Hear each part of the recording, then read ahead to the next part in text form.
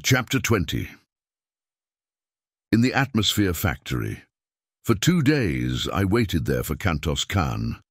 But as he did not come, I started off on foot in a northwesterly direction toward a point where he had told me lay the nearest waterway. My only food consisted of vegetable milk from the plants, which gave so bounteously of this priceless fluid. Through two long weeks I wandered, stumbling through the nights guided only by the stars and hiding during the days behind some protruding rock, or among the occasional hills I traversed. Several times I was attacked by wild beasts, strange, uncouth monstrosities that leaped upon me in the dark, so that I had ever to grasp my longsword in my hand that I might be ready for them. Usually my strange, newly acquired telepathic power warned me in ample time, but once I was down with vicious fangs at my jugular, and a hairy face pressed close to mine before I knew that I was even threatened. What manner of thing was upon me I did not know, but that it was large and heavy, and many-legged I could feel. My hands were at its throat before the fangs had a chance to bury themselves in my neck, and slowly I forced the hairy face from me, and closed my fingers, vise-like, upon its windpipe. Without sound we lay there, the beast exerting every effort to reach me with those awful fangs, and I straining to maintain my grip and choke the life from it as I kept it from my throat. Slowly my arms gave to the unequal struggle, and inch by inch the burning eyes and gleaming tusks of my antagonist crept toward me, until, as the hairy face touched mine again, I realized that all was over, and then a living mass of destruction sprang from the surrounding darkness, full upon the creature that held me pinioned to the ground. The two rolled growling upon the moss, tearing and rending one another in a frightful manner. But it was soon over, and my preserver stood with lowered head above the throat of the dead thing, which would have killed me. The nearer moon, hurtling suddenly above the horizon and lighting up the Barsoomian scene, showed me that my preserver was Woola. But from whence he had come, or how found me, I was at a loss to know. That I was glad of his companionship it is needless to say. But my pleasure at seeing him was tempered by anxiety as to the reason of his leaving Dejah Thoris. Only her death, I felt sure, could account for his absence from her. So faithful I knew him to be to my commands. By the light of the now brilliant moons, I saw that he was but a shadow of his former self. And as he turned from my caress and commenced greedily to devour the dead carcass at my feet, I realized that the poor fellow was more than half starved. I myself was in but little better plight, but I could not bring myself to eat the uncooked flesh and I had no means of making a fire. When Woola had finished his meal, I again took up my weary and seemingly endless wandering in quest of the elusive waterway. At daybreak of the fifteenth day of my search, I was overjoyed to see the high trees that denoted the object of my search. About noon I dragged myself wearily to the portals of a huge building, which covered perhaps four square miles, and towered two hundred feet in the air. It showed no aperture in the mighty walls other than the tiny door at which I sank exhausted. Nor was there any sign of life about it. I could find no bell or other method of making my presence known to the inmates of the place, unless a small round hole in the wall near the door was for that purpose. It was of about the bigness of a lead pencil, and thinking that it might be in the nature of a speaking tube, I put my mouth to it and was about to call into it when a voice issued from it asking me whom I might be, where from, and the nature of my errand. I explained that I had escaped from the Warhoons and was dying of starvation and exhaustion. You wear the metal of a green warrior and are followed by a calot, yet you are of the figure of a red man. In colour you are neither green nor red. In the name of the ninth ray, what manner of creature are you? I am a friend of the red men of Barsoom, and I am starving. In the name of humanity open to us, I replied. Presently the door commenced to recede before me until it had sunk into the wall fifty feet. Then it stopped and slid easily to the left, exposing a short, narrow corridor of concrete, at the further end of which was another door, similar in every respect to the one I had just passed. No one was in sight, yet immediately we passed the first door, it slid gently into place behind us and receded rapidly to its original position in the front wall of the building. As the door had slipped aside, I had noted its great thickness, fully twenty feet, and as it reached its place once more after closing behind us, great cylinders of steel had dropped from the ceiling behind it and fitted their lower ends into apertures countersunk in the floor. A second and third door receded before me and slipped to one side as the first, before I reached a large inner chamber where I found food and drink set out upon a great stone table. A voice directed me to satisfy my hunger and to feed my calot, and while I was thus engaged, my invisible host put me through a severe and searching cross-examination. Your statements are most remarkable, said the voice, on concluding its questioning. But you are evidently speaking the truth, and it is equally evident that you are not of Barsoom. I can tell that by the conformation of your brain and the strange location of your internal organs and the shape and size of your heart. Can you see through me? I exclaimed. Yes, I can see all but your thoughts. And were you a Barsoomian, I could read those. Then a door opened at the far side of the chamber, and a strange, dried-up little mummy of a man came toward me. He wore but a single article of clothing or adornment, a small collar of gold, from which depended upon his chest a great ornament as large as a dinner plate, set solid with huge diamonds, except for the exact centre which was occupied by a strange stone, an inch in diameter that scintillated nine different and distinct rays, the seven colours of our earthly prism, and two beautiful rays which, to me, were new and nameless.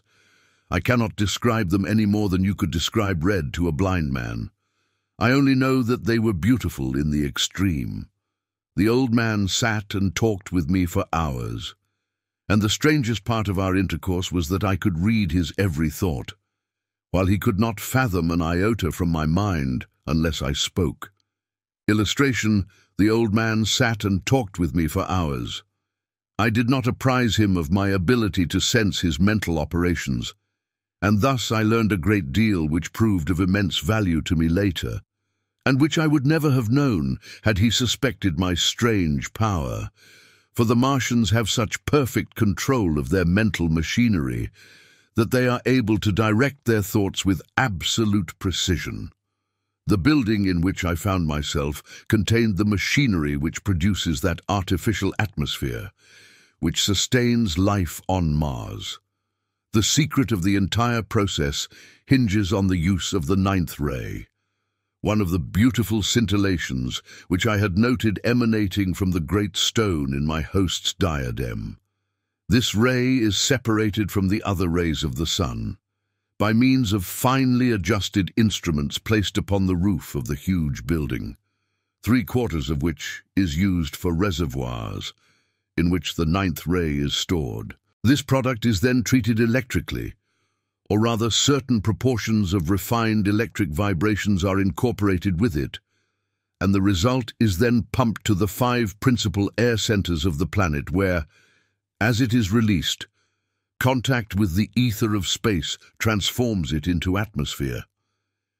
There is always sufficient reserve of the ninth ray stored in the great building to maintain the present Martian atmosphere for a thousand years, and the only fear, as my new friend told me, was that some accident might befall the pumping apparatus. He led me to an inner chamber where I beheld a battery of twenty radium pumps, any one of which was equal to the task of furnishing all Mars with the atmosphere compound. For 800 years, he told me, he had watched these pumps, which are used alternately a day each at a stretch, or a little over 24 and one half Earth hours. he has one assistant who divides the watch with him.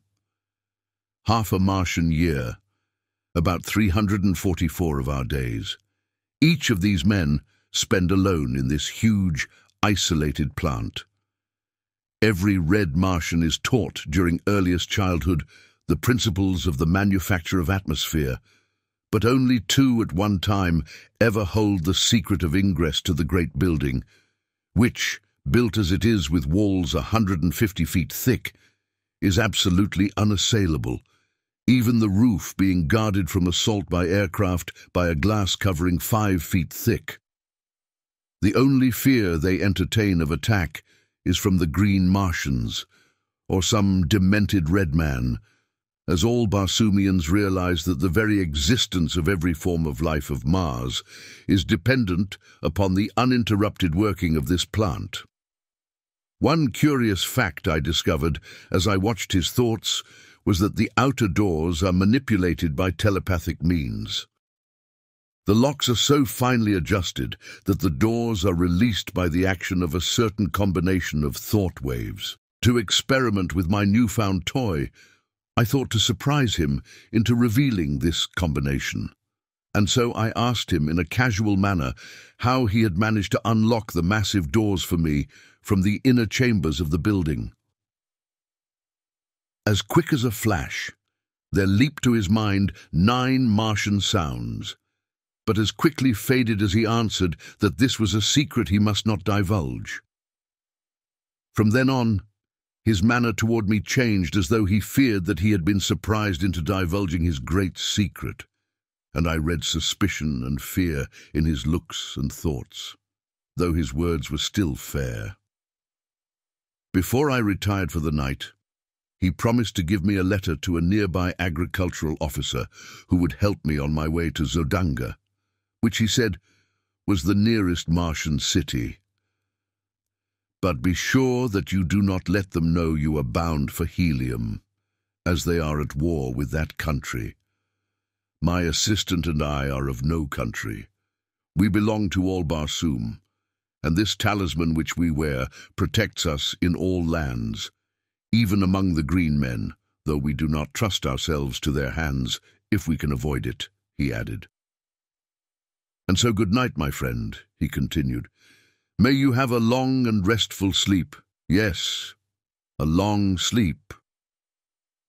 And though he smiled pleasantly, I saw in his thoughts the wish that he had never admitted me, and then a picture of him standing over me in the night, and the swift thrust of a long dagger and the half-formed words, I am sorry, but it is for the best good of Barsoom.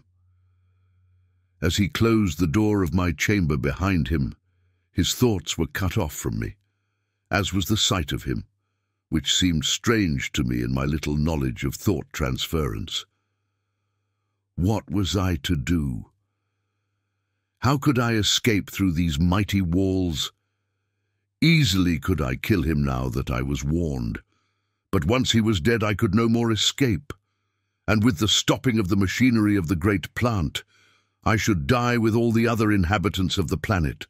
All, even Dejah Thoris, were she not already dead?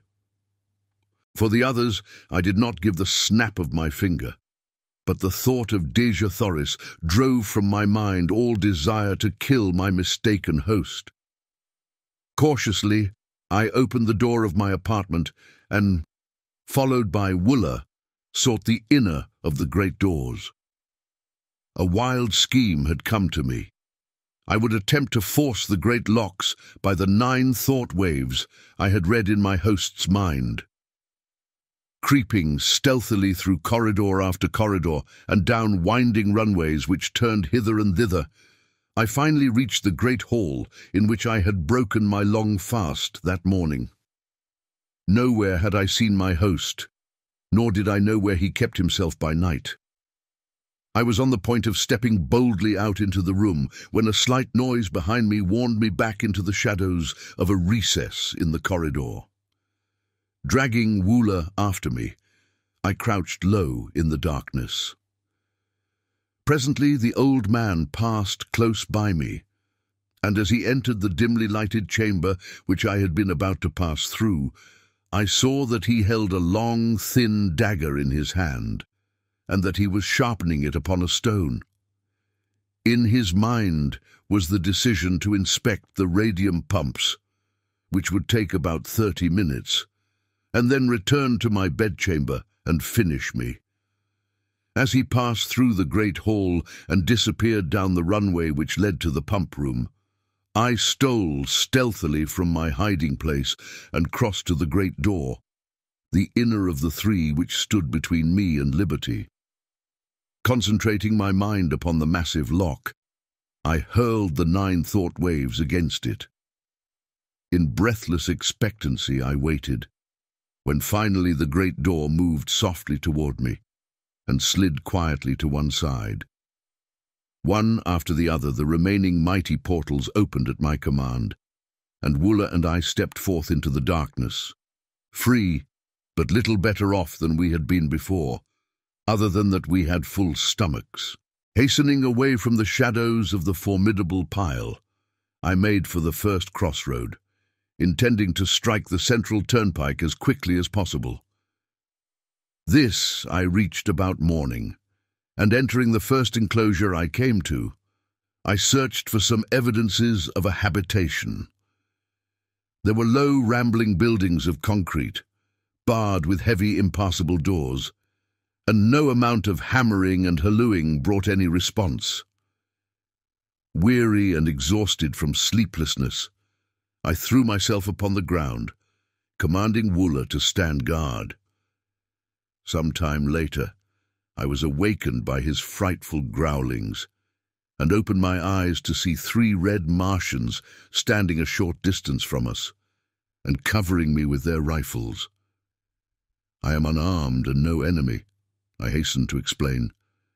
I have been a prisoner among the green men and am on my way to Zodanga. All I ask is food and rest for myself and my calot and the proper directions for reaching my destination. They lowered their rifles and advanced pleasantly toward me, placing their right hands upon my left shoulder, after the manner of their custom of salute, and asking me many questions about myself and my wanderings. They then took me to the house of one of them, which was only a short distance away.